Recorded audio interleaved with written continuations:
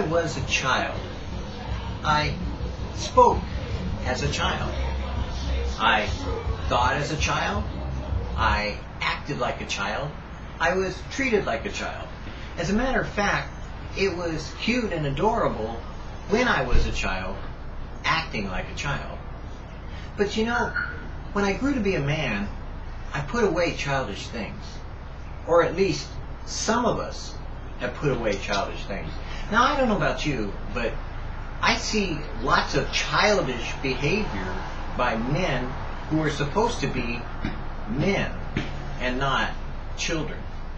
Oftentimes I see that personified when it comes to sports or sometimes even in political arenas. I see people doing things that are dumbing down of what God is trying to do in growing up men of God. The question you have to ask yourself is, what actions you are doing, do they reflect Jesus? Or are they reflecting some behavior or attitude that you have? That you want to make yourself like the world and its ways, as opposed to growing up into Him in all things, which is what God said. Because our lives are meant to be a reflection and a refraction of God's grace from His glory reflected off of us to the world. We are meant to be the light of the world, not the reflection of the world back to God. Some people think that because they got saved as some kind of rocker, that they have to stay a rocker and that they're going to stay long hair until they get old and gray. Now, I don't know about you, but you know, I've seen some of these old rockers from my day when they show up like in casinos or they show up on concert tours and they, they go out to do their thing. No offense to them, but uh, they look old. And sometimes they sound old. And sometimes they really don't really, you know, look like the way I prefer to remember them.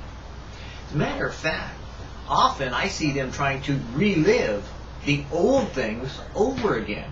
They're not doing anything new. They're just reliving their glory days. You know, the glory days that even Springsteen sang about. How once we were, you know, the top of the heap. You know, the creme de la crop. You know, the, the machos.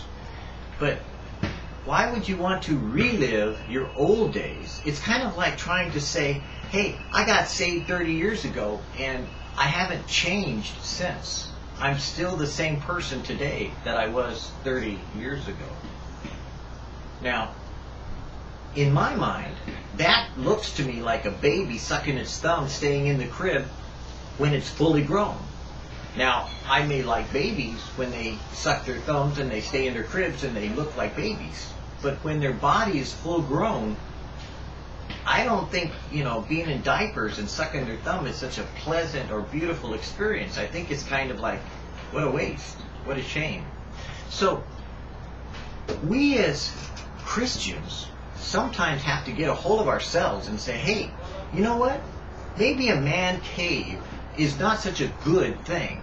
Maybe a man cave is just my way of getting away with being selfish, self-centered, and anhilistic, meaning that I'm about me. It's all about me and mine and having fun and doing my way and playing my games the way I want to and hiding my sins in my man cave and acting like children, then growing up into a man of God and having an office where I could bring people in and discuss the things of the world, pray, to possibly even have Bible studies, to reach out to other people, to be a missionary in the world that God has sent me to save. You see, God didn't send you into the world to build a man cave. Quite frankly, he could have left you to crawl under the rock that you came from. But instead, he decided to save you, old little cockroach that you are, and he made you into becoming, slowly but surely, growing out of what you were, some little baby running around sucking his thumb, to become likened unto Jesus. Because that's what the word Christian means. Become Christ-like. And Jesus denied himself of his godliness in order to come into the world to save you. He gave up being God to come into the world to become fashioned as a man, the Son of Man, and to die for you. Now, you can go off and, you know, say that you've got grace. Oh, well, I've got grace. Don't, don't condemn me, brother. Oh, I've got, you know, my righteousness intact. You know, don't condemn me, brother. I've got my, you know, my, my Christian life, you know, all set and ready to go. You know, but don't condemn me, brother. I don't. I just ask you, what will you do when you stand before Jesus to give an accounting for your life? What have you done with it? Did you waste it as a child? Did you become a baby rather than grow up into him in all things? Did you mature and become what God intended you to be? You see, your job is not what God intended you to be. Your job is just something that's passing away with the world. What God intended you to be is the Son of God. And the question you have to ask yourself, are you? Are you growing daily in some way, even if it's a small way, to become more like Jesus today than you ever have in the past? Because if you are not growing from what you were into what he wants you to become, then I question your salvation. I question whether you were saved in the first place because Paul did. Paul said, look, if you're not growing, you're going with the world. If you're not for me, Jesus said, you're against me. And Jesus brought his disciples to the place of actually growing up into him in all things, to become like him, and even to the point of his death. Peter said, I don't even want to be treated like Jesus. So crucify me upside down. And so they did. And he died. The reality of our Christian walk is meant to be changing us from glory to glory into the image of the incorruptible God. If you're still stuck in pray, you know, pretending like, you know, it's some God-given ministry to be like, you know, some weirdo, you know, for the next 20 or 30 years thinking that that's what you're supposed to be, I suggest you clean up your act. Because while evangelism is good for a certain amount of time and being some kind of like, you know, freak of nature at times, you know, to say, oh, well, look where I came from, so that way I can minister to the people that are there. You need to grow out of it eventually because there's other people that will take your place. Because if you're not making disciples in that culture that you say you're being sent to, you need to recognize that guess what? God wants you to grow up, not just be, oh, well, I'm just going to keep witnessing to my rockers, you know, until I'm old and gray haired and I can't carry a tune, and then I just look like some has been washed up and cast aside because I'm still talking about the same old things, doing the same old way, looking the same old way that I've always looked. I'm sorry. The only one that remains the same is Jesus, yesterday, today, and forever, because he was perfection. We are being made into his perfection, not to look at ourselves and say, hey, look how weirdo I was when I was back at being saved. I got saved in the drug culture, so I'm going to stay looking like the drug culture. I don't think so you know, maybe there's a season where once you get mature, you know, you minister in that season of like whatever it may be. And we in the Jesus movement, we, you know, kept our long hair and we were hippies, you know, we did our thing. But no offense, some of the guys that I see now that are still kind of like doing it the same way, looking the same way, you know, long hair, kind of like, you know, even though they wash it more now and they, you know, beautify themselves, you know, they just look like an old long-haired man, you know, some like old fogey that's over the hill trying to relive the glory days. Frankly, let's get to the place of rejoicing in what God has brought us up to and made us into, which is like Jesus. Because if we think that what we were is best, then we haven't passed the test of are you a man of God or are you just a baby in disguise? Because man caves, Harleys, you know, all the little toys and boys and games that men play in order to get away with what they want to do, you know, like painting up their face in order to act like kids at a football game, in order to demonstrate that they're worse than their children because they go to catch the ball and they dump their child on the floor to catch a left field fly ball. Somehow I don't think that's being a man of God. And somehow I don't think that painting your face and acting like an idiot when it's obvious you're an idiot in a football game is doing anything but being an idiot. Or when you fight at your child's sports game and you come out of the bleachers to do what? Are you a witness of what God has done in your life? Or are you a testimony of how stupid you really are? How childish you actually are you a man or are you really just a baby in disguise? You see, when I was a child, I acted like a child, and I was just like you. I acted like a child. I did those things. But I sat down one day and looked in the mirror and said, you know, I'm bigger than this. I'm smarter than this, and I'm more like Jesus than a lot of my people around me. You know, I, I care. I want to show forth the praises of the Lord my God, and I want to be an example of a believer to those that care enough to reach out and want God living really in their midst. They, they want God to be as real as I have known him. And oh, sure, there are times that I've failed and acted childish, and sometimes I do silly things. But overall, the majority of the time that you see me, I'm very sober-minded, knowing that we live in this last generation, this last days that we have remaining in order to share Jesus to people that really want to see, are you real or are you just like the rest of the world, phony? You know, kind of like entertainers on stage. Because that's what the world looks at Christianity as. A bunch of entertainment, you know. You go to your Sunday morning and get entertained. You know, we, we got you. We do ours on Friday night. You do yours on Sunday morning. There's no difference, you know. We see you coming out, you know. You're all happy, you know, campers, you know. But then Monday morning, we see what it's really like. Just like our Friday nights, you know, you know what we're like on Saturday morning. Yeah, we're hungover. So too are Christians lots of times after Sunday. The point being is, are you growing up or are you growing down? Are you being a man or are you being a child? Man caves, hey, fleshy Christians, hey, you know, grow up, please. For the sake of the rest of the world and most of us who are looking at you, wanting you to be the man of God we expect you to be, look, if you're 50 and you're still playing games, you're playing games. That's the bottom line.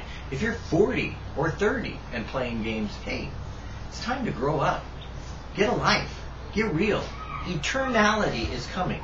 That means that there's an eternal life of something going to exist beyond this world that you see. And Jesus already warned you about that. He said, get ready. Be prepared. For the Son of Man will come at an hour that you expect not. And you could die at any moment. And would you like to die looking as stupid as some of these people do at a football game? Or would you like to be as dumb as some of these people fighting about the score or a rest call or going to the sports bar you know, in order to look like some ways of the world when Jesus returns? My question to you is, what kind of Christian are you? A baby or a man?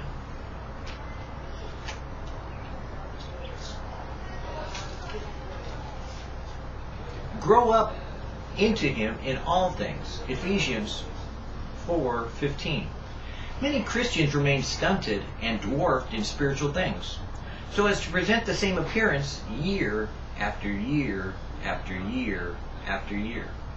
There's no upspringing of advanced and refined feeling that is manifest in them, no peace in their life, no joy in their heart. Oh, at times they look like they're having fun, but it doesn't stay or remain as fruit for very long.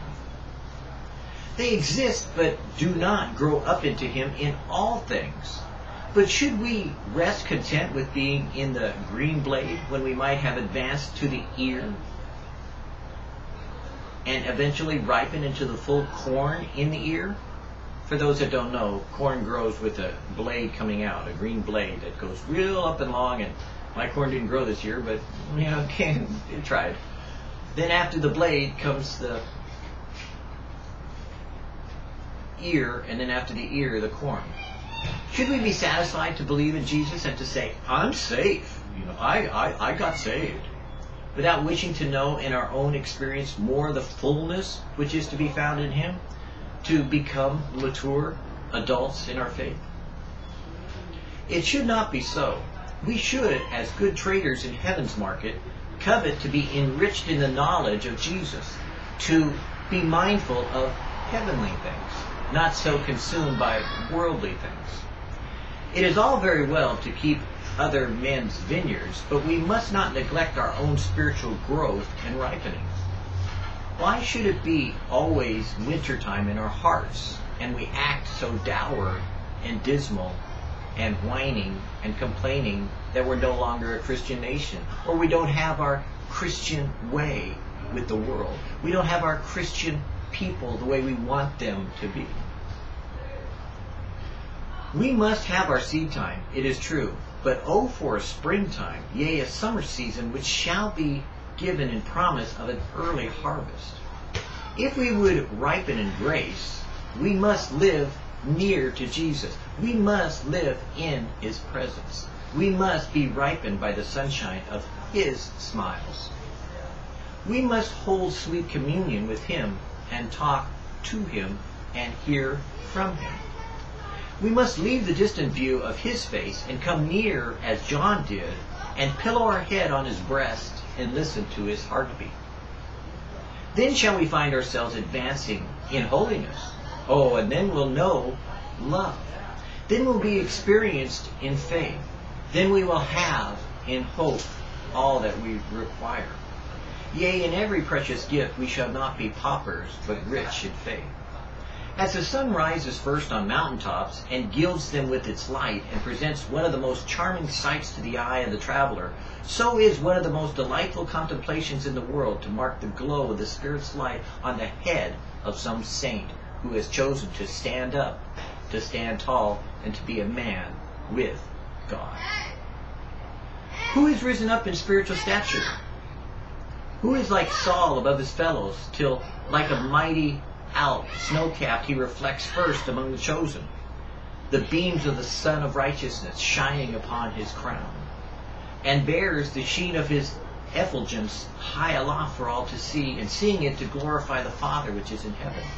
Would you be and choose to be that example of the faith that by the hallmarks of those which have gone before us, you would be chosen to be one of those lives that God reflects back to the world and says, this is my son in whom I am well pleased? Or would you rather be the baby in Christ that sucks his thumb and complains and whines and points the fingers at everyone else's life to blame, everyone else's problems to shame, everyone else's that you are in fact the one that's sucking your thumb? The reality of growing up means you have to do something about you. And the reality of knowing what to do is between you and God. I can't change your diapers for you. And my mother used to say, I can't read your mind and wipe your butt. And she didn't say it so politely. So the reality of where you are and what you are sometimes is the mess you made of your life because you didn't choose to grow up. It's high time that the sleeper awoke from his sleep, took the bottle out of his mouth, crawled out of the crib and stood up like a man and put his pants on and acted like the man God wants him to be. Would you not choose this day to be a man with God, a man of God, and a man after God's own?